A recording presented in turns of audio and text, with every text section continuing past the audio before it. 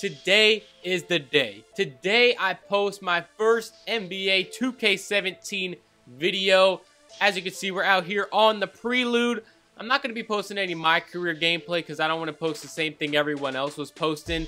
But uh, I'm sure you guys can understand that because, you know, when Friday comes, I'm going to be pumping out these park and uh, potentially pro-am videos and anything else you guys want to see. But yeah, I'm going to go ahead and show you which player I decided to make uh, to start off this year's game. Probably once we get farther into 2K17, I'll end up making a different player as everyone does with 2K. You know, the park, you got to find news way, the new way to like dribble and everything. But this player I think is going to work out for the start of 2K17 at least. And you will see right here, if we go into my player inventory, I made a 6'4 shot creator. A lot of people are making shot creators and playmakers. Now, first I was going to make a sharpshooter because, you know, I thought maybe you could still dribble and that three-point rating is crazy up there and your mid-range is crazy up there. But after that, there's nothing really you can do. And I really like the shot creator because of the badges. You got difficult shots, teardropper, tireless scorer, ankle breaker, and mid-range deadeye.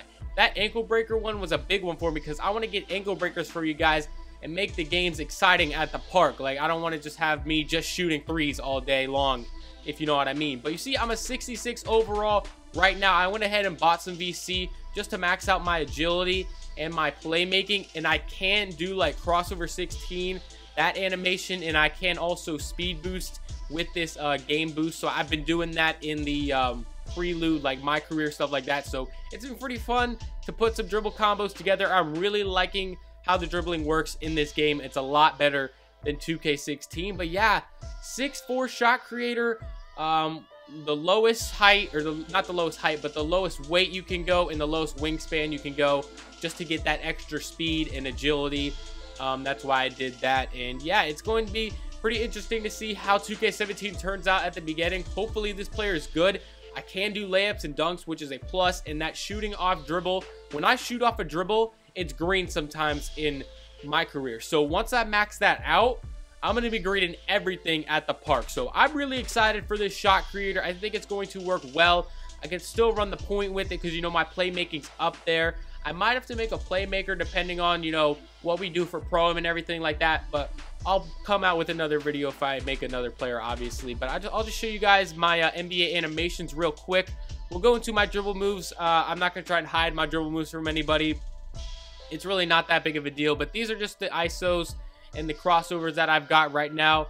Um, hesitation 1 is like Hezi uh, 3, I believe, or Hezi 4, whichever one, you know, you step back really far from 15 and 16 uh, for 2K15 and 2K16. And then I don't have any of these yet because I haven't quite figured out how to do them.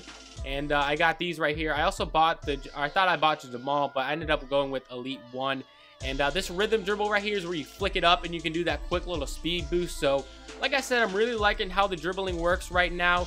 And uh, for my NBA shots, I got LaMarcus Aldridge. But once I unlock the custom jump shots in my career, I'm going to be going with that. So yeah, that is about it for the shot creator that I have made for 2K17. It should be pretty fun. Like I said, I'm really excited to bring you guys some videos, some park videos.